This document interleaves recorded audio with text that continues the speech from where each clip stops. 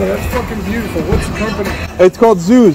Zeus? Z O O Z. Z O O Z. Yeah, that's one too. Same same bike. Man, that's beautiful. Thank you. I used to have the BMXs. I thought you were riding BMXs at first. Yeah, like, it, it takes me back. It reminds me of being a kid. right? Say it one more time. Zooz. Z O O Z. You know, um, you know, down on Division, it's called Dah Shop. Yeah. The, the shop. They have them in there. You can check them out. They'll let you test ride them too.